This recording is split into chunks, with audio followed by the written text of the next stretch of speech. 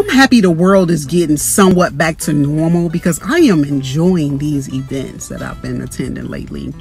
With theater being my background, I have a degree in theater and back in 2020 I had plans of doing a lot of this stuff then and of course the world went dark of course and now that everything is starting to pick back up it is so many events out there and I don't want this opportunity to pass up and what if they lock down the world again at the end of this year knock on wood I have no wood near me but I want to be able to enjoy every moment right now that I am in case that does happen.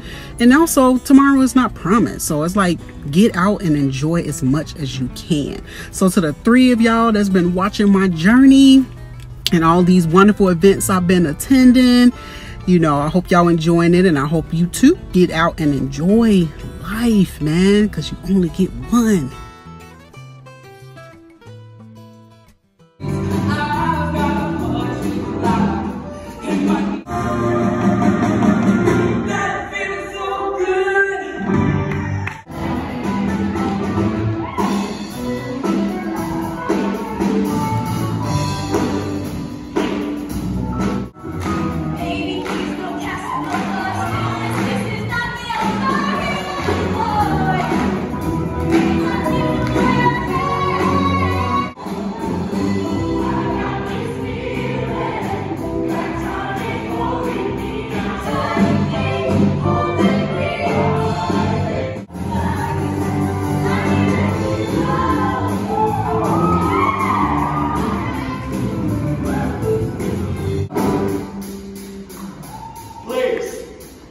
on.